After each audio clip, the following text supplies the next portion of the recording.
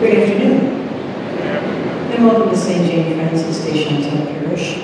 We especially welcome any guests and visitors who are joining us in prayer today on this 30th Sunday in Ordinary Time.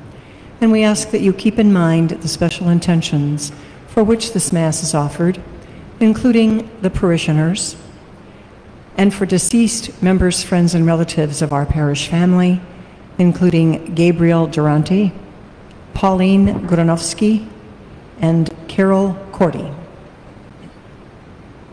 Please stand and let us begin our celebration.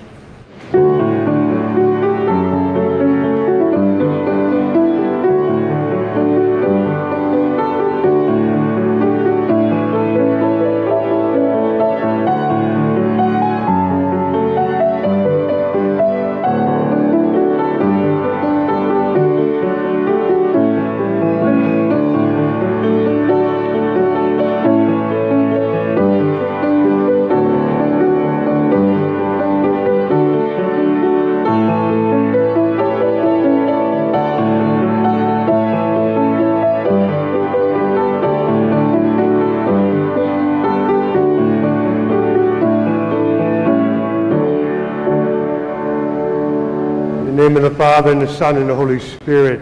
Amen. The grace of our Lord Jesus Christ, the love of God, and the communion of the Holy Spirit be with all of you. As we prepare to celebrate the sacred liturgy, we're ever mindful of God's love for us and the same love he calls us to share with each other. Lord, you were sent to heal the contrite. Lord, have mercy. Lord, you call all people to yourself. Christ, have mercy. And Lord, you are our hope and our salvation. Lord, have mercy. May Almighty God have mercy on us, forgive us our sins, and bring us to everlasting life. Amen. Glory to God in the highest, and on earth peace, peace to people, people of, goodwill. of goodwill. We praise you. We bless you. We adore you. We glorify you. We give you thanks for your great glory. Lord God, Heavenly King, O God, Almighty Father, Lord Jesus Christ, only begotten Son, Lord God, Lamb of God, Son of the Father, you take away the sins of the world, have mercy on us. You take away the sins of the world, receive our prayer. You are seated at the right hand of the Father, have mercy on us. For you alone are the Holy One, you alone are the Lord, you alone are the Most High, Jesus Christ. With the Holy Spirit and the glory of God the Father, Amen.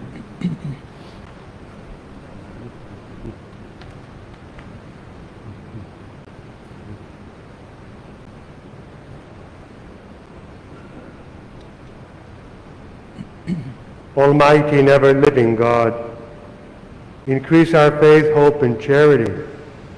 Make us love what you command so that we may merit what you promise.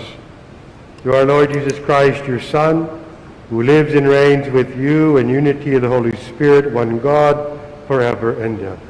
Amen.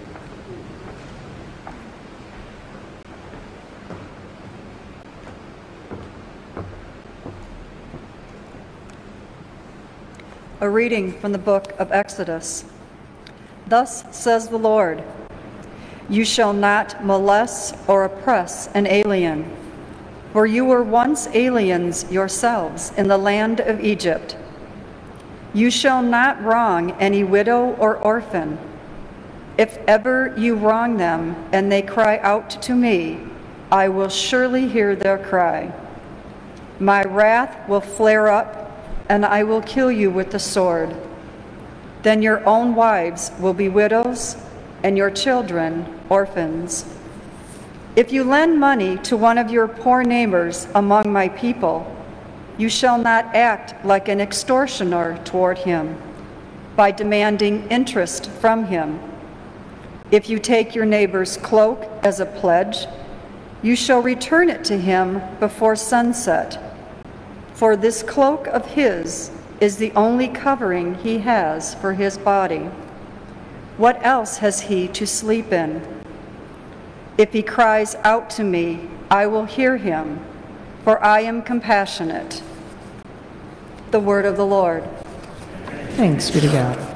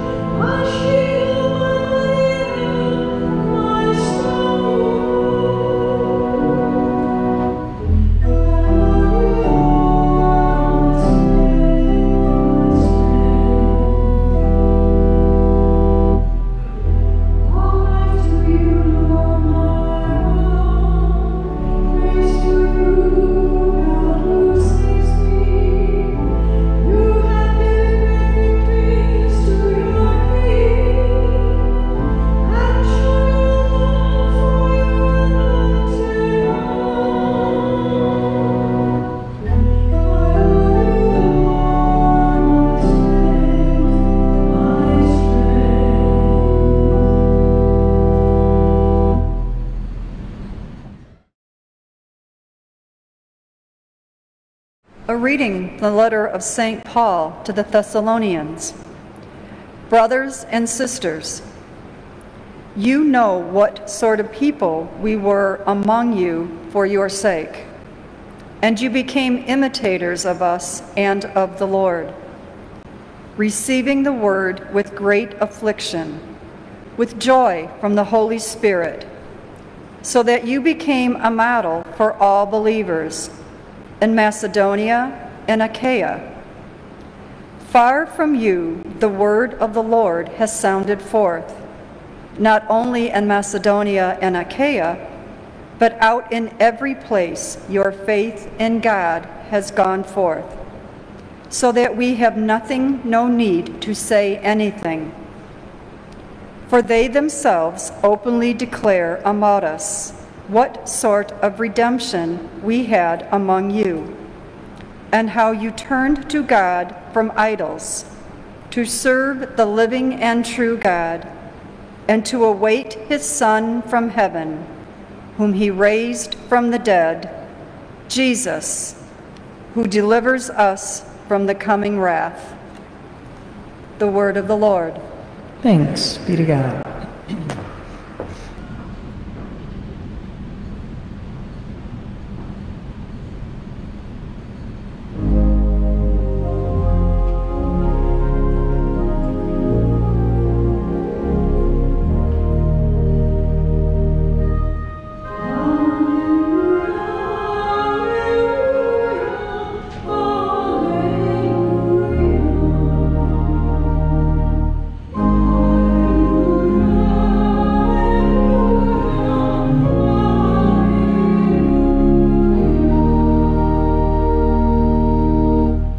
The Lord be with you.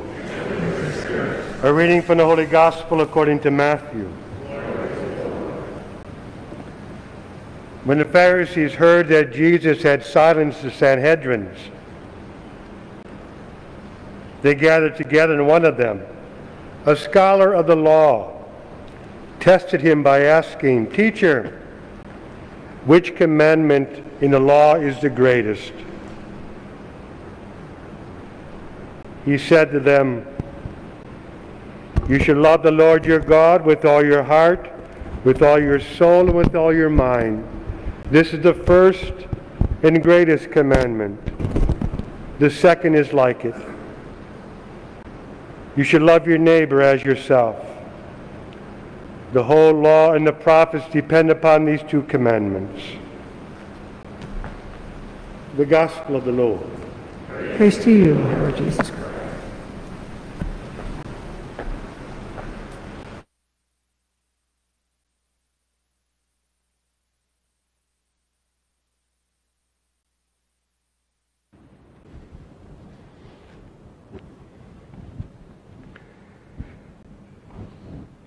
I got a, a call from a friend of mine from Shrine Little Flower, where, where I first started out as a priest uh, 30, 34 years ago. And we are sharing some memories of our friendship. And one memory that we, we still laugh at today.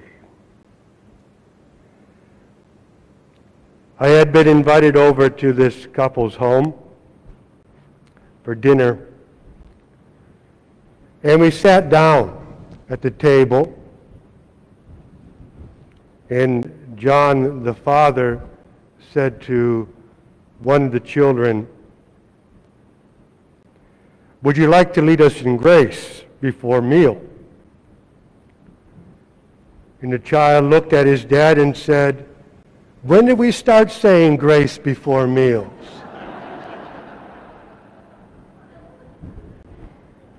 I didn't have to say a word. I didn't have to say a word, but we, we think about that and re- relive that experience often. We've all heard the expression if you have to ask the question, you better be able to deal with the answer. If you have to ask the question, you should be able, you should be able to deal with the answer. Matthew's profession comes out in not only tonight's reading, but last week's, and will indeed come out in next week's gospel reading. We know that, Ma- that Matthew was a tax collector. So he has to ask questions. In today's gospel, the Sadducees asked Jesus, which is the greatest of the commandments? And Jesus says, Love the Lord your God with all your soul, with all your mind, with all your heart, and your neighbor as yourself. If you have to ask the question, you better deal with the answer. But it's the second question that indeed baffles us sometimes. Who is our neighbor? I know both my neighbors on both sides of me at the house. But who is our neighbor? Certainly those two families on each side of me are my neighbors, the one across the street. But our neighbors are those people who may be in need of something that we can give them. I think of last week, and I thank the 41 people who gave blood last week. You don't know who it's going to, but they are our neighbors. They are our neighbors. As we celebrate this Eucharist, as we celebrate this day, Matthew will continue to challenge us in the gospel. He will continue to ask us those challenging questions. Yes, love the Lord your God and to love your neighbor as yourself. As we celebrate this Eucharist, as we celebrate this day, the Lord will again feed us, He will nourish us, and He will send us forth to be neighbor to those we meet this week. And may we indeed take to them the message of Jesus, his compassion, his love, and his forgiveness. May we always remember we have to ask the question, we better be able to deal with the answer.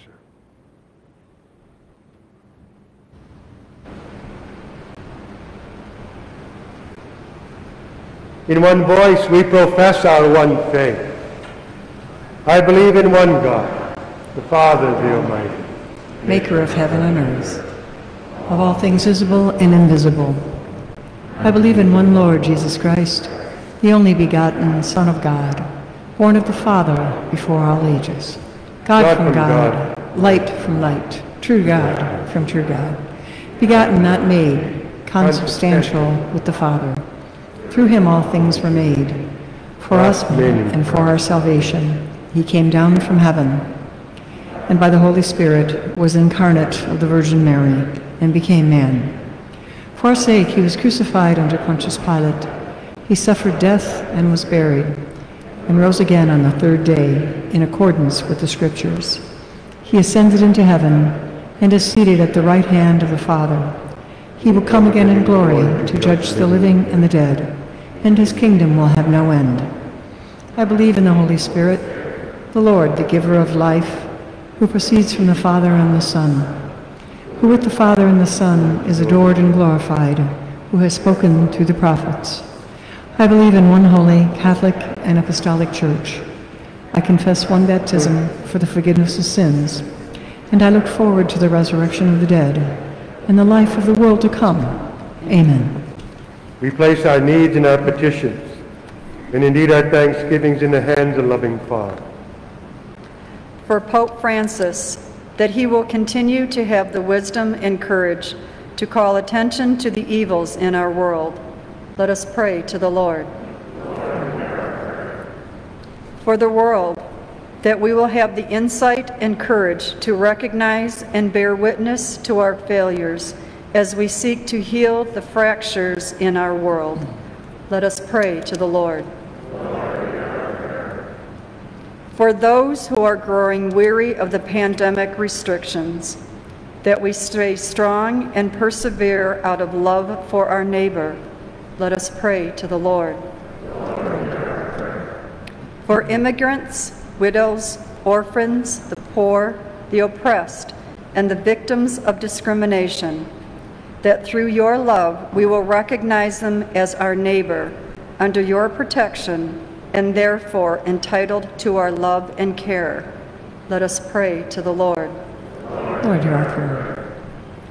For all those touched by cancer and other debilitating illnesses, that God will heal their pain, ease their fear, and fill their hearts with peace. Let us pray to the Lord. With thanksgiving for your many blessings, we bring to the altar the intentions of this Mass, those in our prayer box, and those in our hearts. Let us pray to the Lord. Gracious and loving God, you know our hearts and our prayers long before we voice them. In your love and in your mercy, may they be granted through you. We ask all of this through Christ our Lord.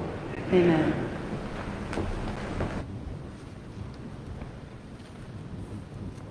Blessed be the God of all creation.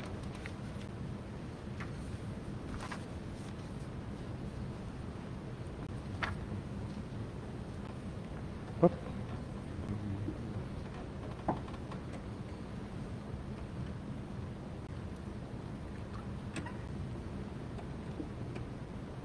Blessed be the God of all creation.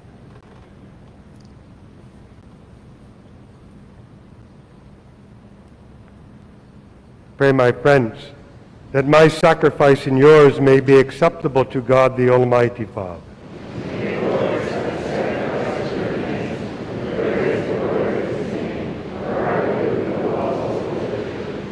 Look, we pray, O Lord, on the offerings we make to your majesty, that whatever is done by us in your service may be directed above all to your glory through Christ our Lord. Amen. The Lord be with you. And with your spirit, Lift up your hearts. we lift them up to the Lord. Let us give thanks to the Lord our God.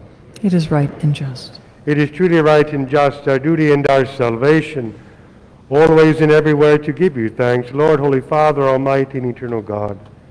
For you so loved the world that in your mercy you sent us the Redeemer, to live like us in all things but sin, that you might see and love in us what you see and love in Christ.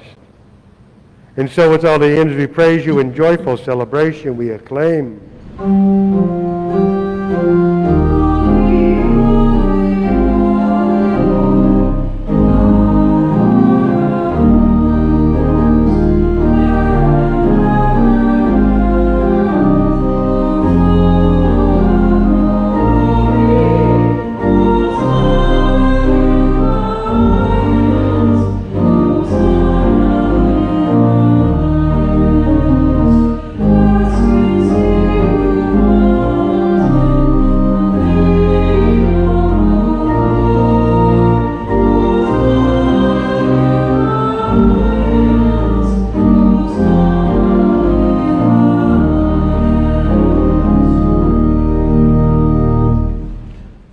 Indeed holy, Lord, the fount of all holiness.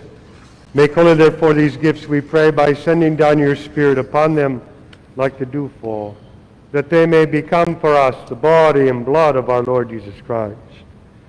At the time he was betrayed and entered into his passion, he took bread and giving thanks broke it, gave it to his disciples, saying, Take this, all of you in need of it, for this is my body, which will be given up for you.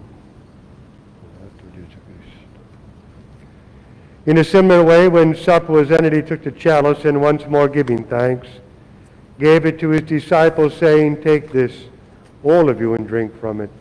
For this is the chalice of my blood, the blood of the new and eternal covenant, which will be poured out for you and for many for the forgiveness of sin. Do this in memory of me. Jesu Christo. the mystery of faith.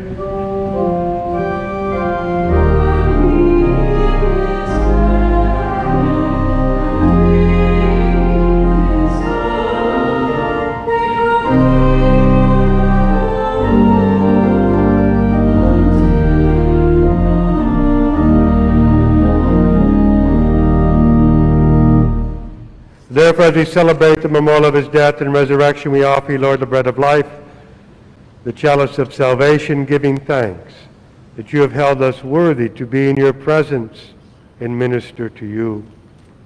Humbly we pray that partaking of the body and blood of Christ, we may be gathered into one by the Holy Spirit. Remember, Lord, your church, spread throughout the world, and bring her to the fullness of charity, together with Francis, our Pope, Allen, our Bishop, and all those who serve and minister to your people. Remember also our brothers and sisters who have fallen asleep in the hope of the resurrection. In all of thine your mercy, welcome them into the light of your face. Have mercy on us all, we pray, that with the Blessed Virgin Mary, Mother of God, St. Joseph, her husband, the blessed apostles, St. Jane Frances, and all your saints, who have pleased you throughout the ages, that we may merit to be co-heirs to eternal life and may praise and glorify you through your Son, Jesus Christ. Through him and with him and in him. O God Almighty Father, in the unity of the Holy Spirit, all glory and honor is yours forever and ever.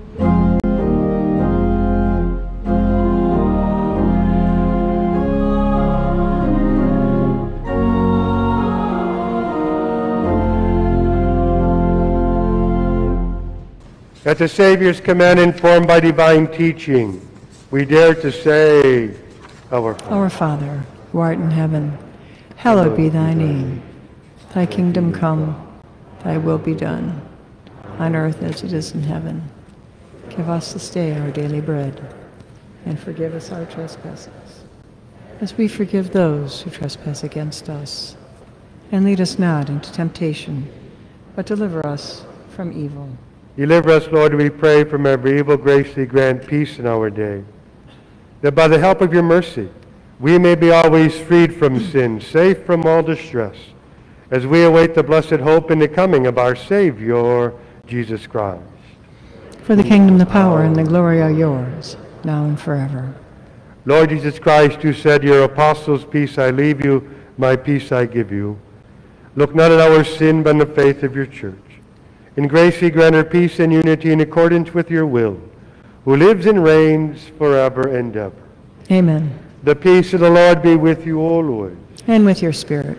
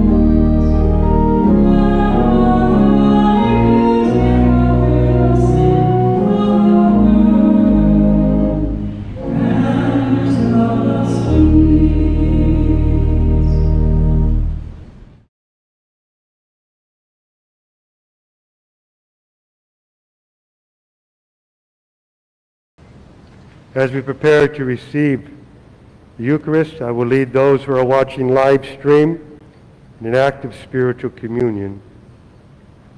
My Jesus, I believe that you are in the Blessed Sacrament. I love you above all things, and I long for you in my soul. Since I cannot receive you sacramentally, come at least spiritually into my heart. As though you have already come, I embrace you and unite myself entirely to you. Never permit me to be separated from you. Behold, Lamb of God, behold him who takes away the sins of the world. Blessed are those called to the supper of the Lamb.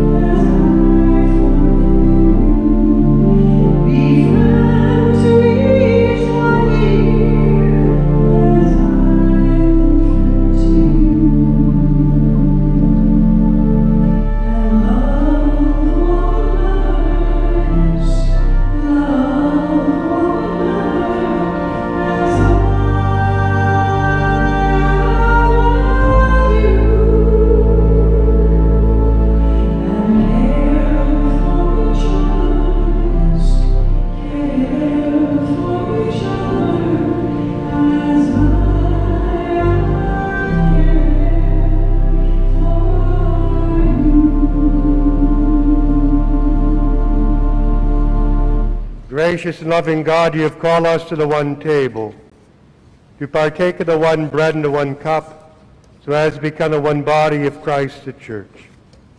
May we become the mysteries we've celebrated. We ask all of this through Christ our Lord.